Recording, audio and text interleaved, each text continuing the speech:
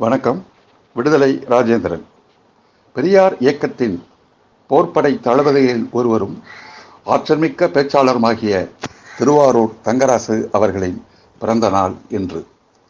திருவாரூர் தங்கராசு பேச்சாளர் மட்டுமல்ல பெரியார் லட்சியத்தை கொள்கையாகவும் வாழ்க்கையாகவும் ஏற்று வாழ்ந்து காட்டியவர். பன்முகத் திறமை கொண்ட கலைஞர்.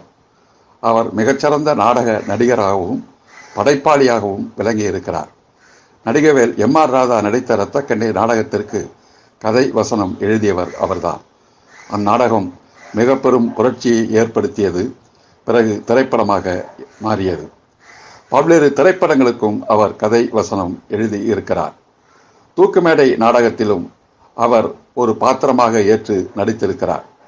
மயிலாடுதுறையில் ராமாயணம் நாடகம் நடைபெற்றபோது பெரியார் முன்னிலையில் ராவணன் பாத்திரமேற்று நடித்தவர் திருவாரூர் தங்கராசு.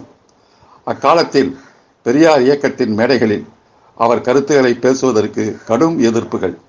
அந்த எதிர்ப்புகளை சமாளித்து உறுதியான லட்சிய வீரர்களாக வாழ்ந்து காட்டியவர்கள்தான் பெரியார் இயக்கின் பேச்சாளர்களாக இருந்தவர்கள். இன்றைக்கு பேச்சாளர்கள் என்பது ஒரு தொழில் ஒரு வணிகம். மேடை மாறி குரலை மாற்றி பேசக்கூடிய பேச்சாளர்கள் மலிந்திருக்கிற இந்த காலகட்டத்தில் லட்சியத்திற்காக வாழ்ந்து மறைந்த திருவாரூர் தங்கராஸ் அவர்கள் மிகப்பெரிய மதிப்புக்கும் மரியாதைக்கும் உள்ளாகிறார்கள்.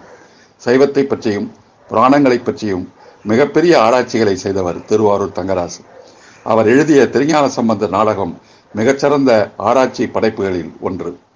லட்சியத்திற்காகவும் கொள்கைக்காகவும் ஒரு பெரியார் தொண்டர் எப்படி வாழ வேண்டும் என்பதற்கு இன்றைய இளைஞர்களுக்கு வழிகாட்டும் ஒளிவிளக்கு திருவாரூர் தங்கராசு அவரை நினைவு கூறுகிறோம்.